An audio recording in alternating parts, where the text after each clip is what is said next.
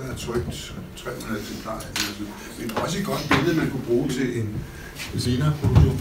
Esbjerg, da havnen havde 100 års jubilæum, også en god plakat, og den kunne man sagtens øh, måske lave noget ud af. Altså, så ikke dårligt. Og så har vi jo endelig vores egen fra 82.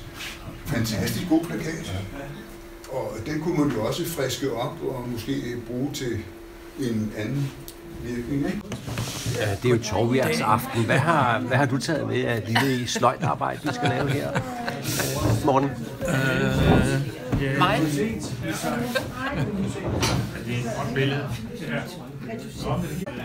Jesper, du kiggede i bogen før. Var, var der noget, der fattede din interesse i? Ja, jeg blev meget interesseret i den her buestrængsknude. Ja, Verdens ældste knude. okay. Du har taget det sorte tovværk med i dag. Hvad, øh, hvad har du tænkt dig at lave ud af det? Ja.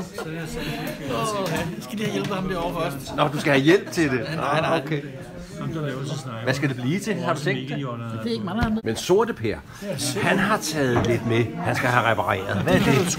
Jeg har taget det her med. Prøv at se. Ikke?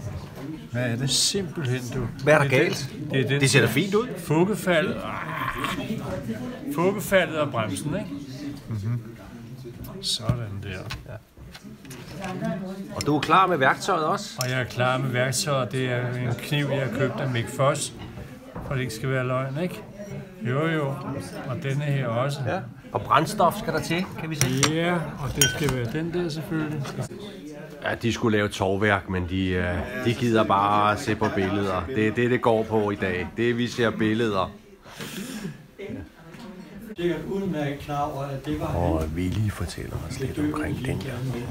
Fordi der sidst vinden havde var jo til simpelthen bare at skøjte ind igennem havnebåden, men nu er vi traf bare på i vej. Helsingør Havn. Og De det færger der, var mange der bare passe sig selv. Selvfølgelig. Ja, ja.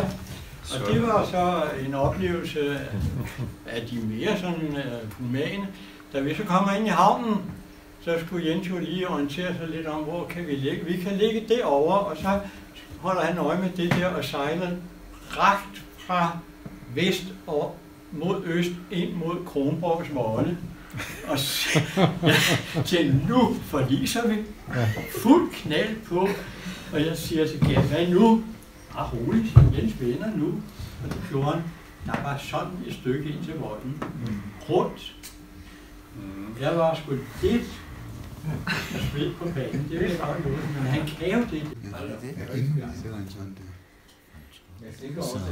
Og de to gamle, de sidder bare hernede bagved, for de har hørt alle historierne. Så de sidder bare her små småstudrer ind bagved. Og så gik snakken hele den lange aften.